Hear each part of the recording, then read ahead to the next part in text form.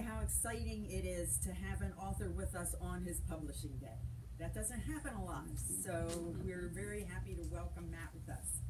My name is Ginger Olszewski, and it is my pleasure to welcome all of you to this evening's launch event for Matt Goldman's new mystery novel, Carolina Moonset, which is set right here in our beloved Beaufort.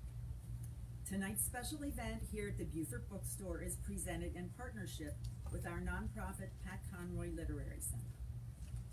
Matt Goldman is a New York Times best-selling author of the Nils Shapiro Mystery Series.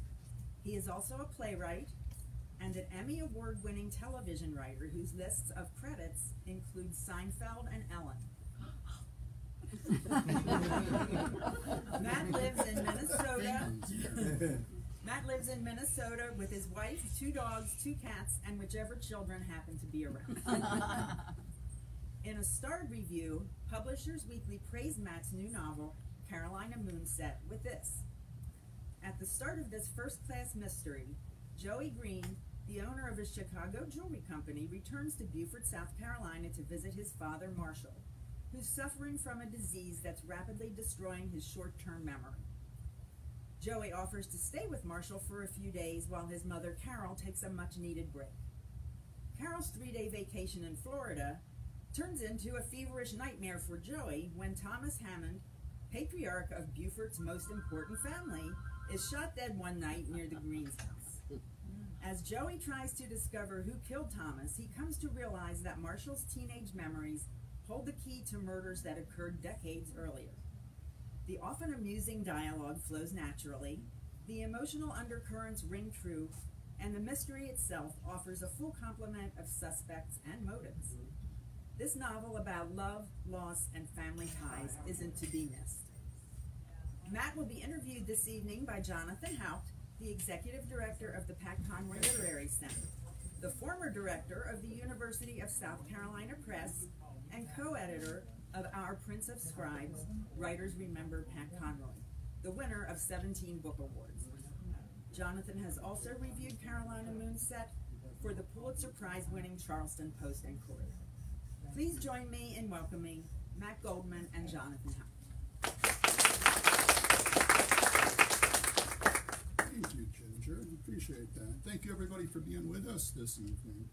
Thank you, Matt, especially for being here on publication day. Thanks for having me. I, I always hoped I would be able to be down here for publication day. It's a dream realized. It is a dream realized. Beaufort is a dream Yes, realized in it so is. many ways.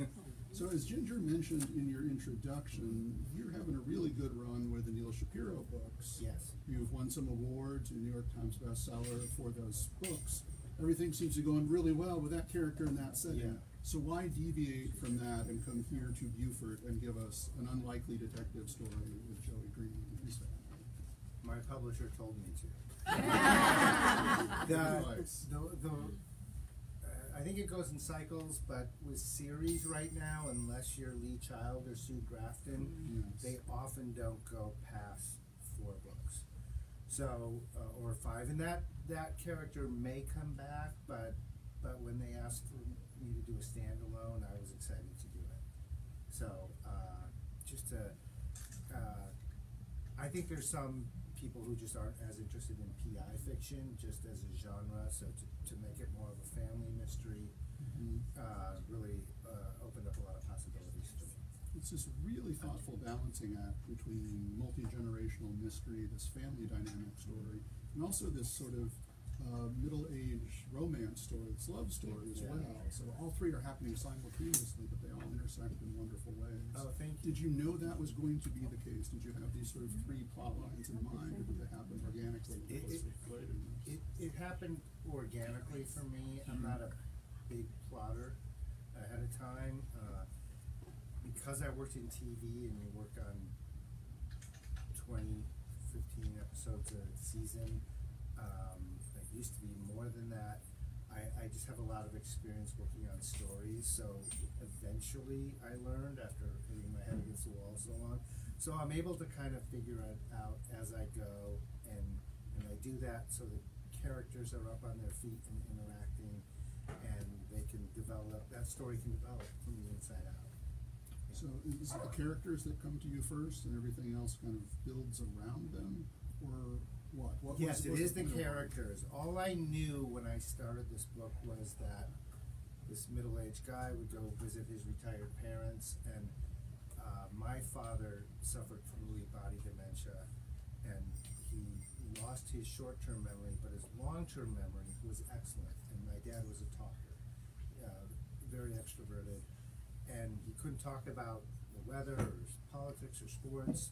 So he started telling stories from his childhood, from my childhood that I hadn't heard before, and that kind of sparked the idea for what if a, a story came up from way back when and, and mixed up with the present day. And it just kind of evolved. The romance part of it was really, uh, I don't mean to embarrass my mother, uh, who's sitting right here, but when I was in my forties, I was single, and they, my, my parents would always be mentioning some other person they happened to know who was single. So it felt like a natural fit, cause I wanted Joey to have a, you know, he's not a private detective or a policeman. Mhm. Um, but I wanted him to have a partner in, in, in his informal investigation, and so I made this woman who's a smart psychologist, and they had a spark. They're both on vacation visiting their parents. And She just happens to be next door. She just happens to be next door. Easier access. Yes. as, as confidant and. Yes. And, uh, to say sidekick would be dismissive because she really brings so much on her Yeah, own. right, yeah, to she's the smarter than he is, yeah. Sig- Significantly so in Yeah. some moments.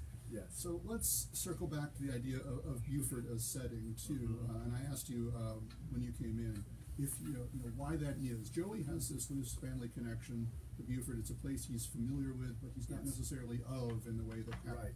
Pat Conroy's characters Correct. are of the Low Country. Yes. He's got some distance from it, and that Yes. sort of shapes his perspective. But what about you? What, what's your connection to this place, to Um, this Beaufort? My great grandfather settled here uh, when he immigrated, and uh, and I've been coming here my entire life. So I have early memories of here. I've been shrimping and crabbing and had uh, s- oyster steams. Is that the right word? Steams? Oyster roast. Oyster I just point out- roast. just want to point out Yeah. that some of us seniors are having trouble Okay. understanding you when you're talking to him. I will. Thank you for that. I will. Project. I will project this. Wanna come You're more than welcome to bring Yeah. your chair up as well. I'll Yeah, come closer, but I Yeah. come and sit here, only I, cause. I can hear, Okay, if you're I'll be able to hear okay. in the back. Uh, Me too, I'm gonna get one soon, I think. So just to restate that, I've been coming here my whole life, and um, so I knew something about Beaufort, um, and and my parents were retired here for twenty years, so I came even more often then. And I'm pretty lazy when it comes to research, so I didn't want to learn a new town. That's the truth. and I've always loved it here. I mean, it's, it's one of the most stunning places. And for a person who grew up in the north, to come down here and see live fiddler crabs, they're not in a cage and, and chameleons and, and palm trees. It, was- it was just otherworldly to me, and that's captured in the first part of the book for Joey. Yeah. It is, yeah, and it's handled really well because Joey doesn't have you know, a lifetime of Beaufort memory. He's not being here every day, so Right. it is both familiar and foreign to him. And that sets a nice tone for the mystery where the characters and their motivations are also familiar and foreign to mm-hmm. him. One of, one of the defining aspects of Southern literature, and this is of course certainly true of Mr. Conroy, is that is that setting is a character. A place is not just where something happens. It, it's an organic part of the story. And you do that, I think, really well with Beaufort. Oh, thank you. I'm a- landmarks you reference, but but it has a story arc. The town has a story arc. Yes. And of course, the novel too. And I, I, I think setting is a character. I think it's very important to a story. It informs history, it informs the, the kind of the petri dish everyone's interacting in. And um, uh, it, uh, it's a very important part of this story. Yeah. We want to be very protective of key plot points and not ruin anything, certainly Right. not on publication day. or ever for that matter, because I want y'all to have the experience that I've had and, and discover the story as well. But uh, could you tell us a little bit about the sort of state that Beaufort is in, particularly in relationship to the Hammond family, who are, are essential? This is a town on kind of about to make some decisions about what it's what it's going to be. Well, um, I'm not, because we're talking in code, I'm not sure exactly what you're talking about, but the Hammond family is a multi-generational family that, that that uh, has made a lot of money in property development Mhm. and is continuing to do it. And um, and so that uh, I'm not sure exactly. Well, yeah, yeah. The idea of striking a balance between development, Yes. uh, conservation, preservation. Yes, and there, uh, and, and everybody I talk to in this town, especially people who've been here for a long time, mention that traffic is getting worse. Uh, it's not the town it used to be, but it is. And, you know, when you look out on the marsh, it's still beautiful. And there is that balance between economic development, and there is a character, uh, Joey's great uncle, who talks about that. You, you know, you don't wanna have a ghost town, you wanna have a thriving town, but there's a balance that has to be struck there. Mhm. So I think, you know, part of what so impressed me about the way you handle that in the novel is that we don't stop the plot to have these conversations. They're organic to the characters who have these belief structures. Bubba, for example, has a lot to say about the waterways, but, Yes. we don't stop the plot to, to have that conversation. Yeah, It's central to who he is. It is central to who he is. Bubba is a fishing guide that the family goes out with uh, and has for years. And he does talk about the change to the water and the fishing and the migratory patterns of the fish. But it's not just to spout off about climate change. It also, I think, will create, it, it allows, I don't wanna give away too much, but he, th- th- that gives him motivation to be a viable suspect for what's going on as well, yes. You take similar approaches with racism, with gender and sexual identities. All of this comes up in the course of the conversation because these are all realities of our, of our day-to-day lives in Mhm. this town or any town. But the novel is never preachy about that. It's just time and time again, it's authentic to the characters. And as you say about Bubba, it really inform, it makes him a viable suspect. Yes. These, these aspects of these characters make them subjects of suspicion and Mhm. concern for Joey as, as he stumbles through his investigation. Yeah, I, I do believe in creating, uh, you know, when there is a mystery, there should, there should be a lot of viable, uh, people, uh, the whodunits. Um, and, and because I'm a believer in fair storytelling, so the people in the advanced reading copies that I've heard from have all said, oh, I was so surprised, and, but if somebody does guess it, that's fine with me, it's the, it's when you go invest your time to read a book and then there's this like crazy thing at the end where you go, what? How did that's where did that come from? And I just don't think that's fair. So uh, so I do like to give everybody uh, to kind of just fold them into the plot in that way. Do you know the answer? Do you know who done it when you start out, or is that something that you discover in the course of writing it? Uh, it's something I discover in the course of writing it. And, and often when I start out, I don't even know what got done.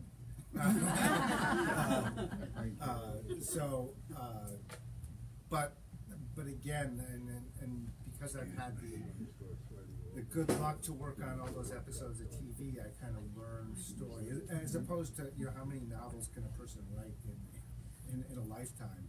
Um, so I just churned through enough stories to really kind of Mhm. get a feel for where not to go, or to get a feeling for where, when I'm off track. You handle the balance really well, and uh, you know the sort of classic example of this is Chekhov's gun. Are y'all some of you familiar with that? If you introduce a firearm early in a, in a novel, somebody better have shot it, you know, by the third act, or you're just wasting the reader's time by putting Yes. it in there. And you have what I've come to think of as Chekhov's tackle box, which is Yeah. really the Yes. absence of a gun. Yes. Not so much a gun, but a gun is gone Yes. missing, and there's Yeah. payoff for that. So it's Yeah. not random details thrown in. Every time something is introduced, there's a payoff to it later. Do you, are, is that happening organically while you're writing it, or are you, you know, halfway through and you think, I'm, when I do the next round of revision, I've got to insert something so I can get to the A, point. a little bit of both. I, I, I have three documents open when I'm writing. I don't, I have the manuscript, I have a journal I keep alongside of it, and I have a to-do list.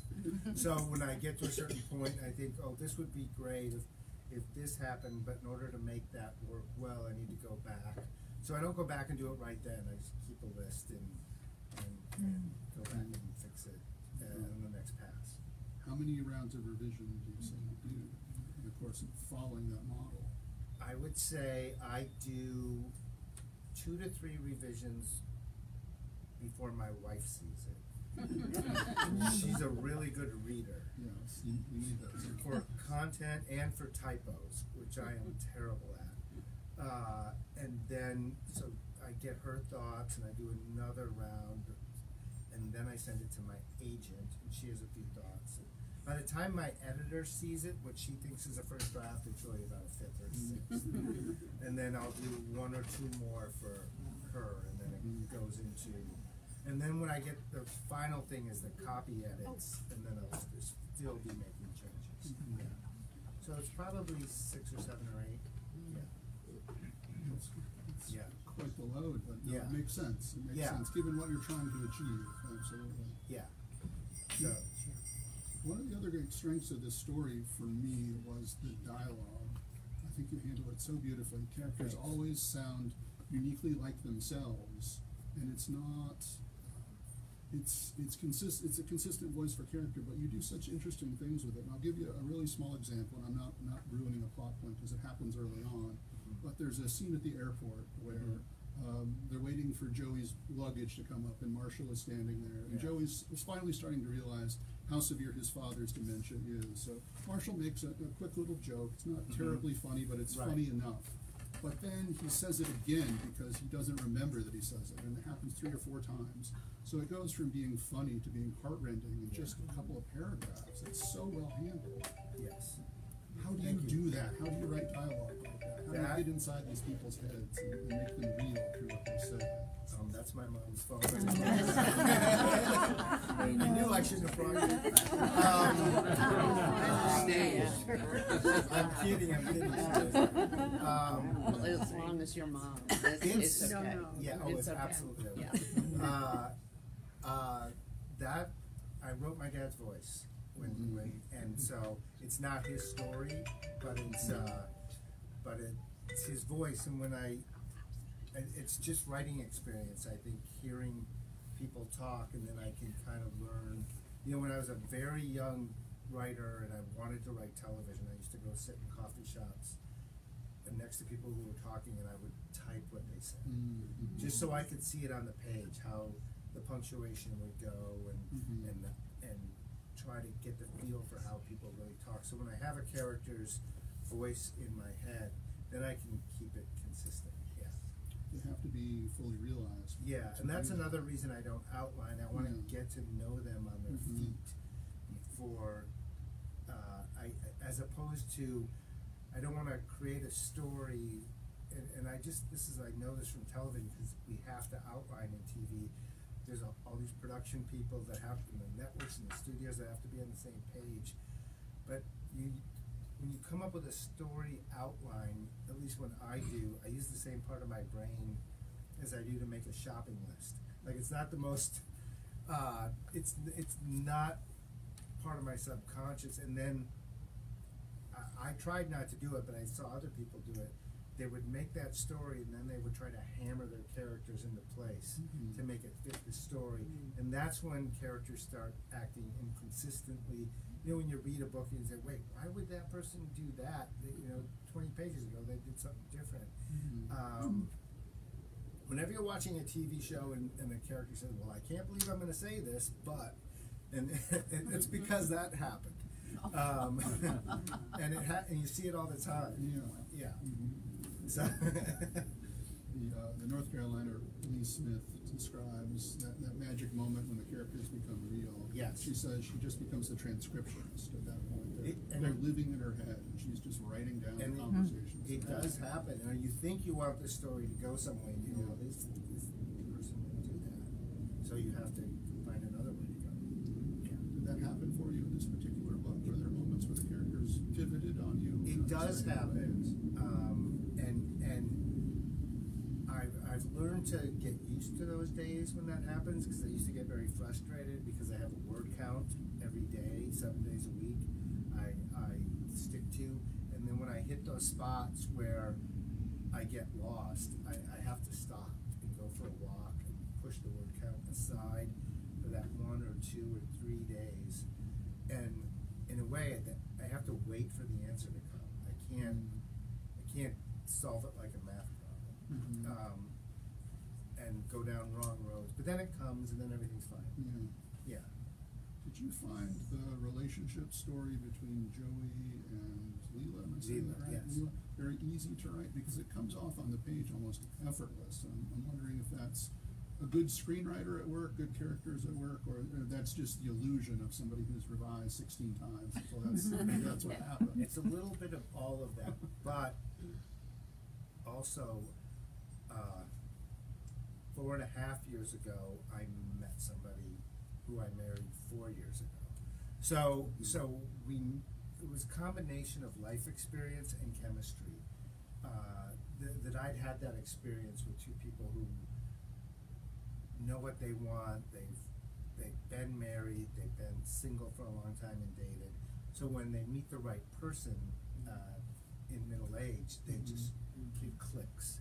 And so I really wanted to make sure that that was grounded, so it just didn't come off as a convenience for the story. But it, it's based on some life experience, yeah. What is that like for you to have a character who is so much like you in this, in this particular book, to be exposed naked on the page, as Conroy used to say?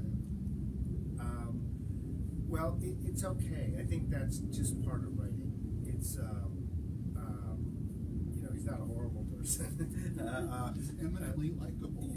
yes. Yeah. So, so it it was. Uh, I felt comfortable with doing that.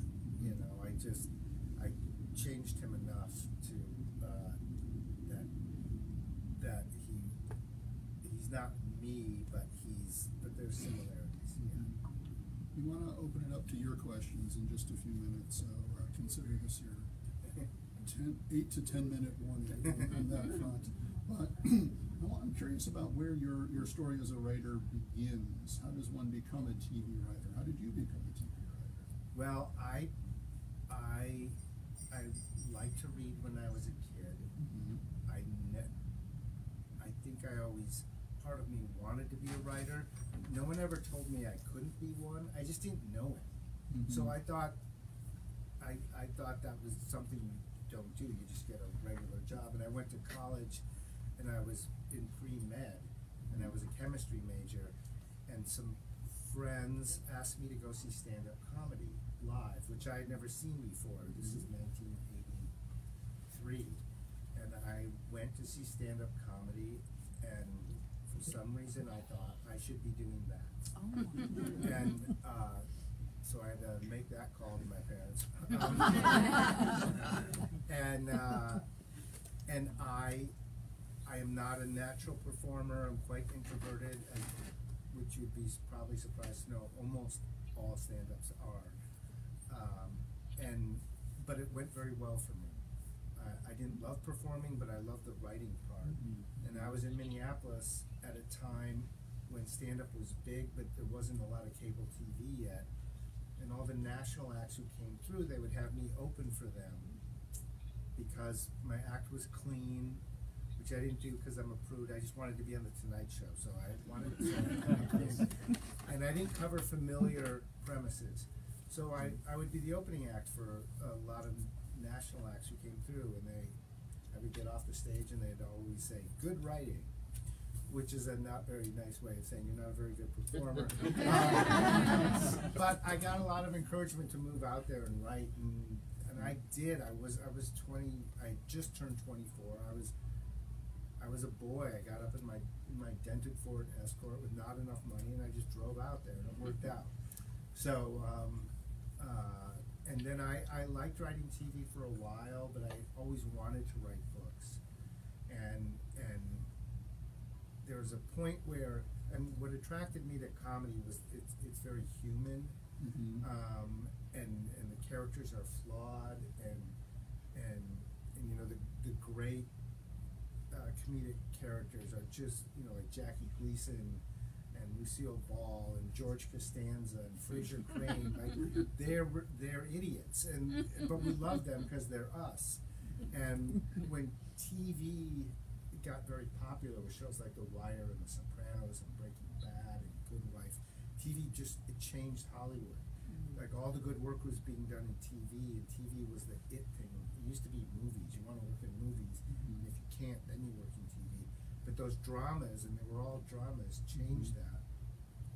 And so the executives in charge of comedy said, we want comedy to be cool. And, and to me, it just became less human when it started to go in that so I thought, well, I'm gonna, I'm gonna write drama. And to, to do my homework, I started reading crime fiction, which I'd never really read Mm. before. I was a big literary fiction snob. I, I don't know why I was writing sitcoms, but, uh, but, and when I, I just fell in love with crime fiction because as a writer, I discovered that when you have a crime at the center of your story, when there's a dead body and the clues keep coming along, kind of frees up your characters to just be people. They don't have to carry the whole weight of the story, and that's what I was attracted to. Hmm. Yeah. When I read crime fiction, or like John le Carre, the spy books, this the spy or the crime part is the least interesting part to me. I just I'm just fascinated by the characters. Mhm. Yeah. So you've got a sort of built-in driver of the plot. There's a problem to be solved. There's There is. risks, and who who the characters become in the course of addressing that issue reveals who they are. Yeah, it puts them under pressure like any story does, but they can they can have a problem in their personal life, and then the phone rings and we got the prints off the gun or whatever it is, and the story moves forward. Right. Yeah, Mhm. yeah. So, what crime novels were you drawn to when you started doing your research, and you started diving into that world? And, and what are you reading now for that? Uh, uh, the um, Raymond Chandler Hmm. was a big influence on me because it was narr- you know, I had all this experience writing comedy and and and developing my own comedic voice. And Raymond Chandler's novels are narrated by a private detective named Philip Marlowe, so he can be very funny in his narration. Sometimes he's a smart aleck in conversation, sometimes he's not. But he can make great social commentaries and uh, and and you, you just really root for this person because you're in his head and and and he's he's vulnerable in his narration. And so I thought oh that's how I can write a crime novel. I can make not his voice but my voice Mhm. and and do that. Um, and right now I I mentioned John le Carre who I didn't read until maybe a year ago first time and I'm obsessed with those books uh, just the voice of, of the storytelling and like I don't care about if the spy's gonna get killed. I care that he goes home and his wife says how was work and he can't tell her. And Mhm. what the conflict that comes from that. I, I Mhm. and just and just the depth of character uh, i- is is amazing to me. Yeah. You have them. It, it's reflected in, in what you write, particularly in the relationships with the Mhm. family. That you know, there there are murders to be solved. Things are happening Yeah. that are affecting this town. Yeah. But Carol just wants to go to a pickleball tournament. Yeah. yes. Um, and for those who play, you can completely understand that. yes. So I mean, you balance that so well. These Oh, sort thank of you. deep stakes, these literally life and death Yeah. stakes. But also, there's this family who know each other and love each other, and there's this new relationship that's happening adjacent to that. And all three Yeah. things have are given equal weight in, in a voice that we come to like and trust. Joey just comes off the page as, as a relatable character, Oh, somebody that I'll you. happily spend 288 pages with. Thank you. As, a, as an absolute joy. So Oh, congratulations. on thank you so much. All That's of very those things nice. so Yeah. well. Thank you. Are you worried a little bit about how this town and these people are going to read a book about Beaufort, South Carolina? And What- what they'll, what they'll bring to that or take from that? Well, I'm not worried about it, but having written books about Minneapolis where I grew up, the Mhm. books that take place there, Yeah. I'll get something wrong. Someone's going to send me a letter, and I apologize right now for getting it wrong. I tried not to, but but I I don't know. I may I, I tend to write about places I love Mhm. because I have to spend all this time there in my head, and so I you know when I because I lived in Los Angeles for a very long time, and I al- would always get the question, why did you pick Minneapolis over Los Angeles? Mhm. I don't like Los Angeles. I don't want to spend eight hours a day with that in my head. Um, Mhm. I mean, I like it more than I used to now that I don't live there. Um, but but but I really you know love Minnesota and I, and I love it here and and so uh, but I'm always happy to hear. I'm sure I'll get something wrong. But I've had people show up with maps and say, I followed this character and uh, you don't turn here, you turn there. Like, I, I don't think you do, because look, that's a one way and that's like, oh, I'm sorry. So, but I try to, to get it right. Yeah, I was down here twice last year, uh, just for the final draft. That was my next question, Yeah. actually, about what, what kind of research you did here in Beaufort specific for this novel. Well, I do research in person to go see the places. And, you know, I never, I do use real businesses in my work, uh, and streets, but I never use anyone's real house. So I was trying to get a feeling for a couple of the houses. Um, although there's a house mentioned on Craven Street, I don't say where, Mhm. but that house was in my family for three generations. Mhm. Yeah. So I knew I had that house in my mind, yeah. And There's a reference to Tidalholm house from the Big Chill as well. Uh-huh, yes. Mhm.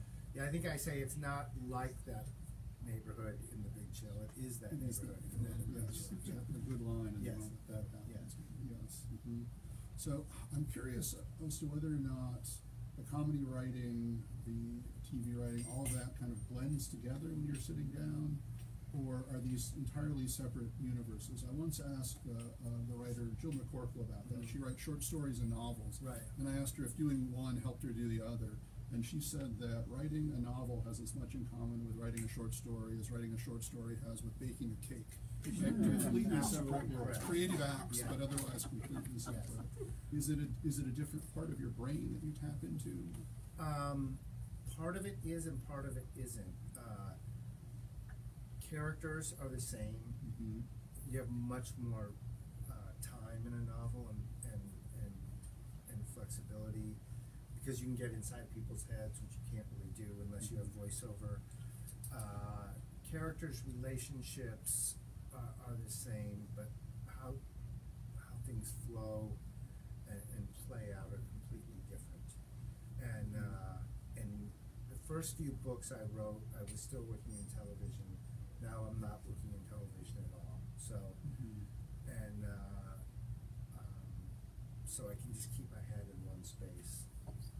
Yeah. Let's see if our illustrious audience here has some questions they can, uh, they can add to the equation.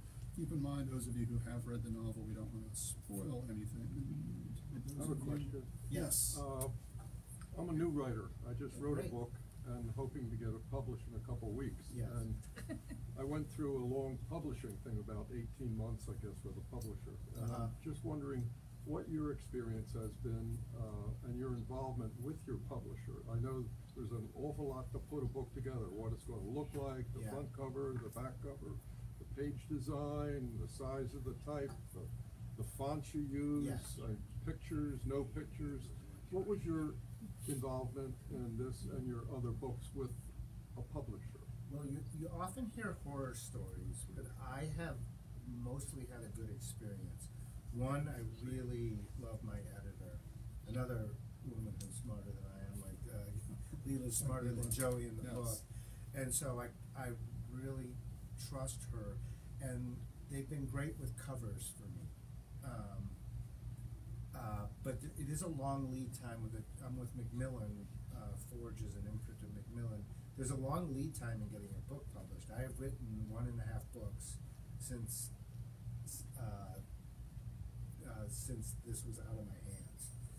And so, uh, I don't have any say about font. They don't ask me about that. Um, they do ask me about cover. Titles are always an issue. I stuck to my guns on this title. I thought it was the right title for this book. Um, they've always wanted me to have more thrillery title titles, but I don't really write those kind of thrillery books. They're more about the the people involved in the relationships and uh, uh, and so people who if I write a have a thrillery title, the people who read them are disappointed, and if I and if I and then the people who would like them never pick it up because they're not going to read that kind of book. So, so I think we're getting on the right path with that. But you know, at the end of the day, if you're with a traditional publisher, it's their decision what the title is. I, you know, I wished, I thought they crammed, not really, it's, but I, I wanted even a little more white space on the pages here. Hmm. Um, but it's not bad by, as far as what you can see out there, yeah. It is a contemplative book, and it has a Yeah. contemplative title, and it's reflected in, the- in the design, both external and internal to the pages. So Oh. I thought they did a nice job. Yeah, I think they did too. Yeah. Uh, and again, my editor, who is my primary contact person there, who I have creative conversations with, I really like her. And I, and I, from talking to other authors, I know that doesn't happen all the time. It's, it's not universally Right. true, no, Correct. definitely not. Other questions, audience? Oh, right up front. Yeah. Yes. Do you know if it's gonna be a recorded book? It is a recorded book. Audio? Awesome, It is yes, that's very cool. Yes, wherever you get your recorded books, it is, it is out. That's wonderful. Yeah. Does Beaufort Library have some? I don't know. I, I, I actually. They should be told. They should be told, or- or gifted. In, in, yeah, uh, um, I don't know what time they open tomorrow, maybe I'll, have to be in Savannah later tomorrow, but. We just Yeah. tell them We'll go as a group. to Yeah. Yeah. But in general, the libraries have been very supportive of my Good. books, Mhm. yes. Right. And I'm always, I have people say, I hope you don't mind, I got your book at the library, and I, I don't care. Like, I think it's great, I'm a, I think it's great when uh, people get books at the library. Absolutely. Yes. But don't anybody here do it, because we're in a bookstore. Thank you. Yes. Also, a unique thing about this book is it came out in the hardcover and paperback at the same time. Oh, Which, right. which, uh, at first I thought, and, and they asked me if I minded, and then I thought, I, I don't mind at all. Some people want a hardcover, some people, especially mystery readers, would rather buy a paperback. Mhm. And either one's fine with me, yeah. Is that a new thing in publishing, do you think that's I- interest, I, it seems dumb, I mean, I'm not used to that. I don't know, I'll tell you how it happened, and I can say this because there's not a Barnes and Noble around here, is there? No. No. No, They- thank God, no. No. Oh, that's, that hour takes away. forever to get Hour there. and a- Uh, just to get through that guard gate, yeah. Uh, it's, uh, uh, they asked for it. So, and, Barnes and and Noble. they're big enough that my publisher said, sure, yeah. Mhm. But it, but it's great because I, now people can get it, uh, in whichever Mhm. format they like. Yeah, and, and both formats are available here at Beaufort Yeah. Bookstore this evening, incidentally. Yeah. Yeah, but I've seen that happen more and more often, and not Yeah. just with mysteries, and for those very reasons. for Yeah. The needs of multiple audiences, what a library needs versus what a Yeah. bookstore needs, but they both need it at the same time. Yeah, cause the library will want hardcovers. Mhm. Yeah. Yeah. Mhm. Did you have any say in the narrator for the audio edition? Have you ever had say? in? Yes, um, because I have, uh, you know, in television, the writers are the producers. When you see all those producer names, most of them are writers, and uh, and and we have final say in everything. So I have a ton of experience casting actors. Oh, of course. So I ki- I insisted on that, um, and and uh, I I think the person who reads it does a pretty good job. Yeah, Excellent. I rejected several before that. As a good casting director. Ye- yes. Other questions? yes. Um, I haven't read it. I love the cover. I think it's beautiful. And I see that, um, William Kent Krueger blurred for you. So he Yes. lives in Minnesota. Are y'all personal friends? I am personal friends with Ken. I got to know him uh, after my first books came out. I met him at a book event. Um, I was telling Jonathan, he really is a, one of the true gentlemen out there. Uh, I think he's a great writer and he's just a lovely person. So, and when I asked him if he blurred, you know, every writer hates asking someone to blurb their book. Uh, but he said absolutely, and then he just gave me the most. That's a part of the blurb. The whole thing. It's just a very kind and generous. I haven't read his mystery series, but his newer books, and he spoke in Savannah. And he's got a great sense of humor. He does, and he's a he was wonderful public speaker, isn't he? Yes, he was. Yes. So for anybody who hasn't read William Kent Krueger, uh, This Tender Land, uh, Ordinary Grace. Ordinary Grace, Yes. and then he has a, uh, a crime series, the Cork O'Connor Cork series O'Connor. that's set way up in northern Minnesota. Uh, Lightning Strike, I think Yes, is the most it's the recent, most which recent is one. almost, almost YA, because it's young Cork in that one. Yes, it is a Mhm. prequel, yeah. Yes. mhm. And that was wonderful that he did that. Yeah, for very you. nice, Mhm. yeah. Uh, as I mentioned when we were discussing the pre-show, I interviewed Kent for the Bluffton Book Festival, Mhm. Uh, for Lightning Strike specifically, and I asked him, you know, here we are in the South at this Bluffton Right. Book Festival where we talk about Southern literature and, Yeah. and the defining characteristics of that, and I asked him if, are there in in fact any defining characteristics of Midwestern literature, and if so, what? And I will share his Yes, answer, but I- I'm curious about your Yeah, answer. I wanna hear his first, or do I have to answer first? Up to you, up to you. Uh, I don't know. I, I mean, uh, the writer who made me want to be a writer is a Midwestern writer, Kurt Vonnegut. Mm, And I and what attracted to me was one the sense of humor. Two, he he kind of thought like a fifteen year old boy, which I think I was when I discovered him, and uh, and just clean, really clean prose Yes. which Mhm. he could express complex ideas, but in a very clean, simple, Mhm. plain talk sort of way. Plain spoken is Plain spoken. Kent said. Oh, yeah, Yes, that's mhm, it. Yes. Yes. mhm, Yes.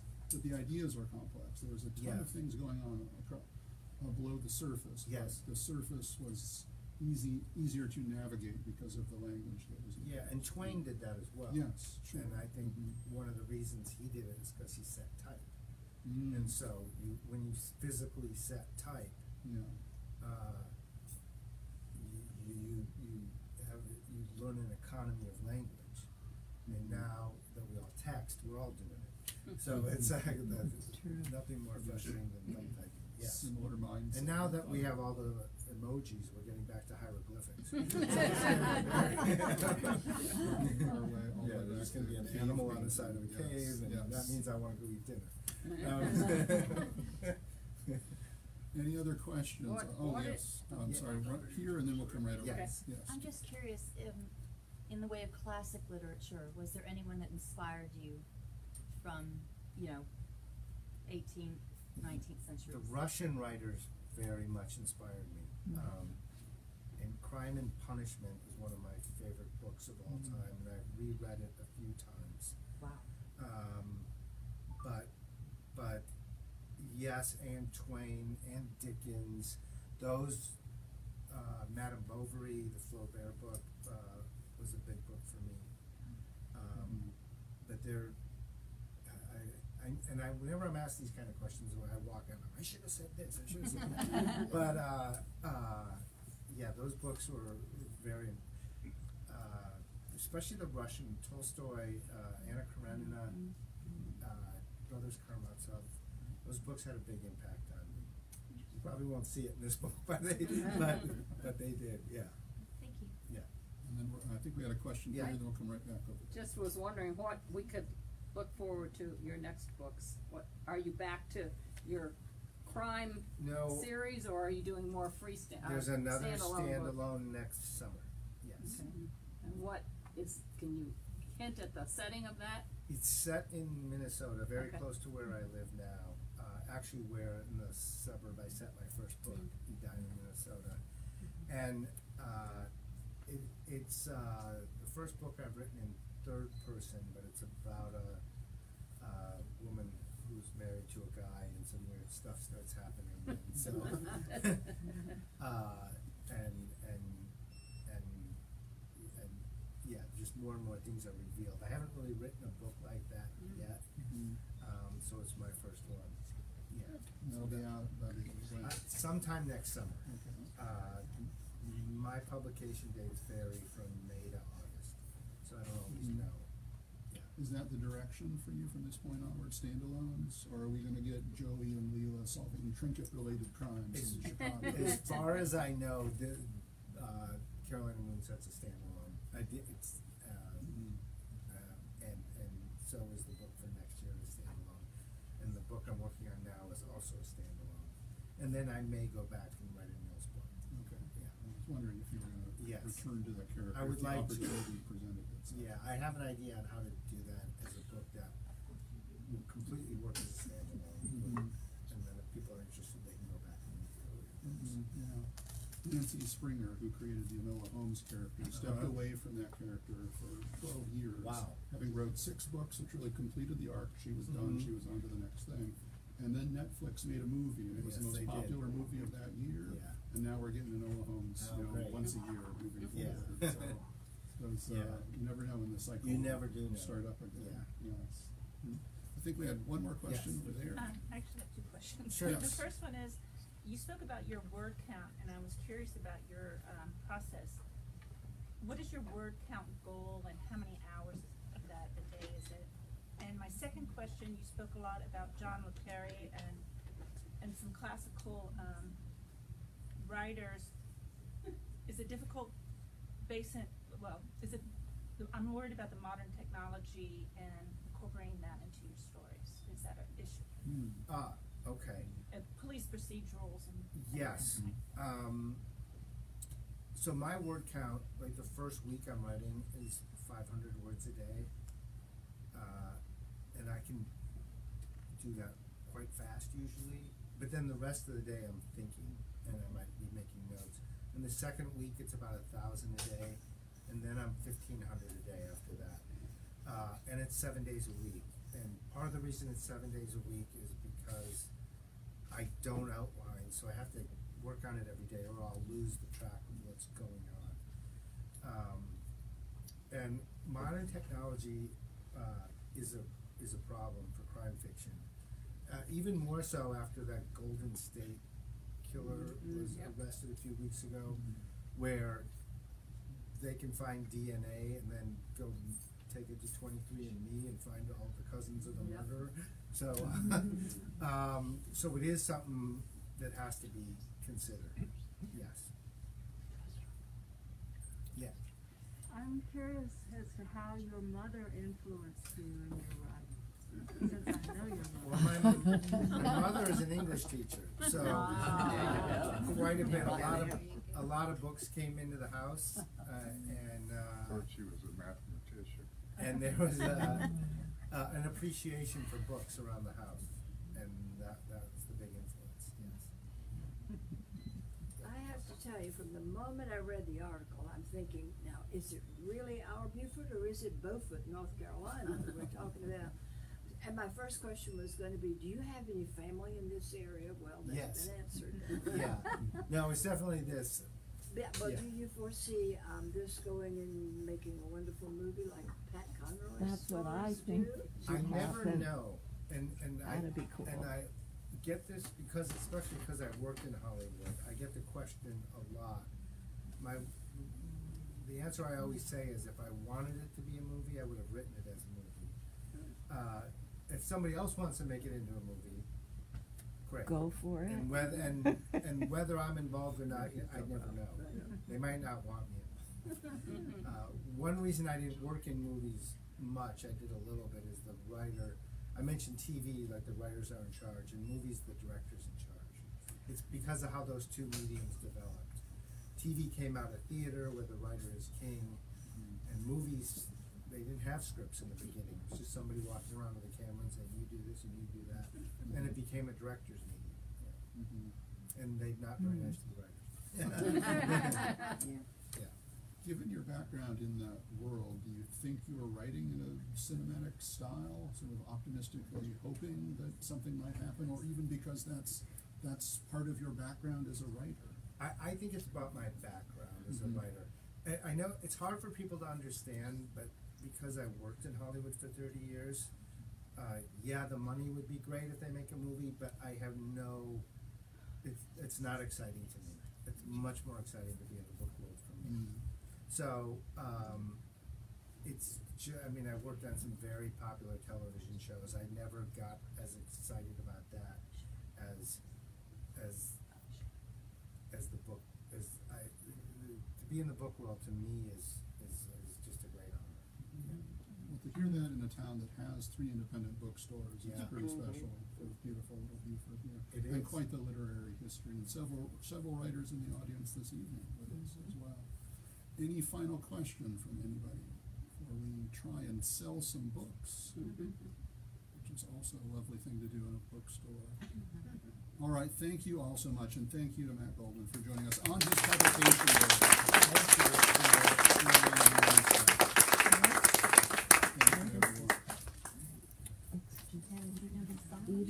Bruce, Where would you like Matt to sign books?